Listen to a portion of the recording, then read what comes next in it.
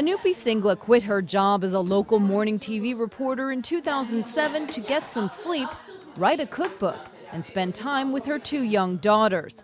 Entrepreneurship was not on her list. Thanks, Arya. While testing recipes for her first book, The Indian Slow Cooker, Singla grew frustrated with her masala dabba, the traditional spice box found in almost every Indian home kitchen. It irritated me that I had to go and grab a knife and level off my measuring spoons and grab measuring spoons that did not come with the box because the box traditionally comes with this little tiny spoon. No one knows what the measurement is. And so that's where the idea came from. I had no idea how to create a, a, a product. I didn't even think that I could do it. But with the help of her consultant husband, Sandeep Gupta, she created a company, Indian as Apple Pie, and a product, the Spice Tiffin, a masala dabba modernized.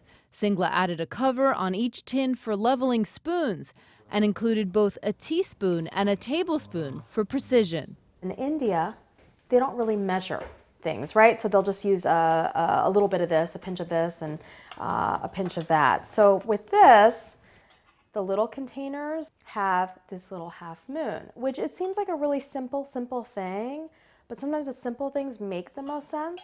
What made less sense, a stranger who approached her booth of prototypes at the 2009 Housewares show and offered a food entrepreneur's dream a foot in the door at upscale kitchenware retailer Williams Sonoma. She basically approached my husband, said, I love this product, and I'd love to give you an email of somebody that I think that you should reach out to at Williams Sonoma. After about a couple days, maybe a week, I emailed the email address, got an email response back saying, hey, we're interested, send us a sample. The box sent a sample.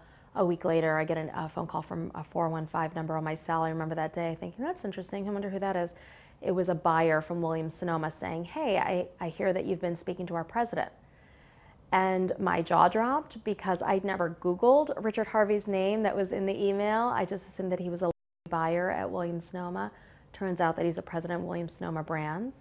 And um, from that point, the whole process moved a little bit faster than normal. Williams Sonoma wanted the Tiffin, but initially offered a wholesale price too low for Gupta, who was concerned about the fluctuating price of steel. The emotional side of it, to be able to represent that, hey, we're in one of the premium retailers in the country, I mean, that was a very difficult negotiation in that regard. So we didn't want to lose the relationship or the opportunity there, but we, we I also knew it didn't make sense to sell stuff at a loss. They agreed on a price, and now the Tiffin is carried in 30 of the company's biggest locations, where Singla teaches cooking classes and promotes the product, which is made in India. Finding the right factory to make the Tiffin was no easy task, and quality control has been an issue. After two runs at a Delhi manufacturer, Singla is now looking at options in Mumbai. We'd open boxes and a box was missing, or we would have a lid missing, or something was loose, or something like that was, you know, needed to be fixed or repaired. And so the frustration was we felt that we needed to inspect every single box before we sent it out.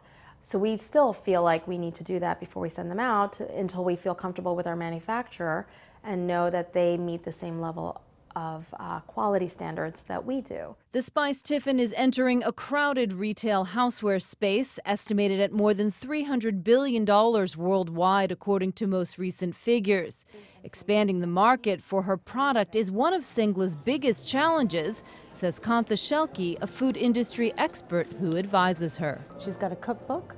The cookbook readers reach out for more, so they automatically jump onto and see the tins.